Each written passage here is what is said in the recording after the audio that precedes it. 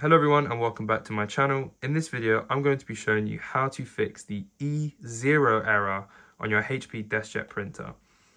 For the purpose of this demonstration, I'm going to be using a HP DeskJet 2810E, but don't worry if you don't have the same model as me. If you have a HP DeskJet in the 2600, 2700 or 2800 series, it's all pretty much the same, so this will work with you. The error means the same thing. If you have a DeskJet that isn't within those series, don't worry. Um, it will still work. Again, it's the same error. So the first thing I want to do is actually go through what the E0 error is. Now, the E0 error, according to the user manual from HP themselves, is unusable cartridge. It says check HP software and follow instructions to replace it. Now, I've seen this error come up for a few different reasons. The first reason I've seen the error come up with, and this is probably the most common one, it is just means the ink has ran out. Um, so the sometimes the printer doesn't rec realize, recognize that there's no ink and it just errors out and it says that there's an issue. Um, so the first thing you're really going to want to try is just get new ink cartridges and replace them. If you've put in new ink cartridges already, then um, you're going to want to see what the issue is there. So there's a few things that can be causing this problem. Now, a lot of people decide to buy um, non-HP ink cartridges. Now, if you do that, I'm on your side. I think it's cool. However, HP don't like that because the way Big Printer make their money is through selling people like you and I ink cartridges. Uh, this printer was quite cheap, and you might be wondering why was this so cheap? Well, it's because you are going to need to keep buying ink cartridges from them, um, small or large ones.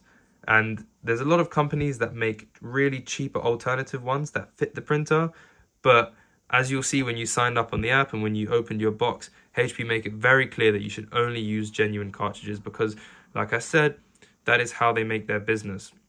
So if you have a non-genuine HP cartridge and from the jump it's not working and you're getting the E0 error, unfortunately, it's very likely that it's just completely incompatible and your HP printer has wisened up to the fact that you are not going to give HP any more money. Um, if that's the case for you, then unfortunately I'd recommend probably going back to the seller and seeing if you can return them on Amazon. But it is probably likely that there's a disclaimer when you bought it that says no returns if your printer doesn't accept it. So maybe leave them a bad review. However, if you have brand new HP cartridges that should be working, I would recommend this basic fix. Now, um, what you can do is a basic fix, the easiest one is to just pull out the pull out the power cable and put it back in.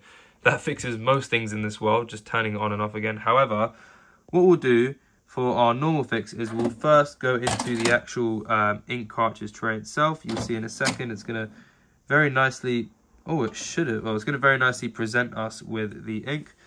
Now remember, you're going to want to put your tricolor ink on the left and your black color ink on the right.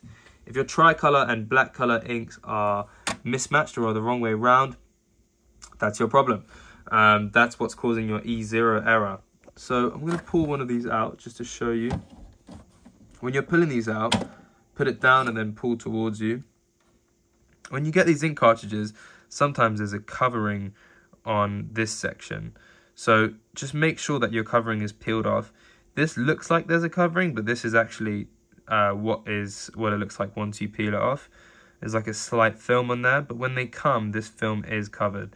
So just make sure that um, the film is removed because that could be preventing your um, print cartridge from working.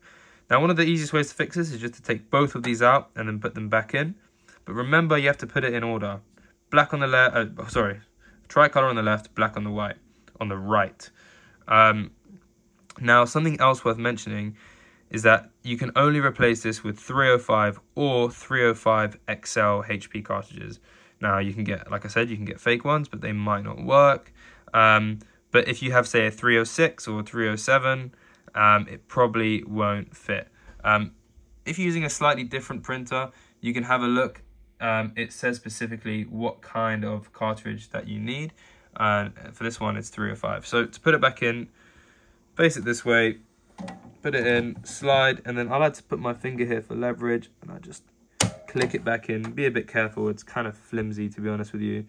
And then, oh, and then, drop my camera there, and then we will shut this down, shut this, and I like to shut this too. and your printer should be good to go. If you're still facing the E0 error, like I said at the beginning of the video, the easiest way to do this is just to get new ink cartridges. If after new ink cartridges, you're still receiving the issue, watch my video on how to factory reset your printer and then try and replace ink cartridges then. And if that still doesn't work, then unfortunately you might need to reach out to HP for a replacement or just bite the bullet and buy another replacement. These are about $45 or so, and it comes with ink. Um, so yeah, thank you very much for watching. Hopefully that helped, and goodbye.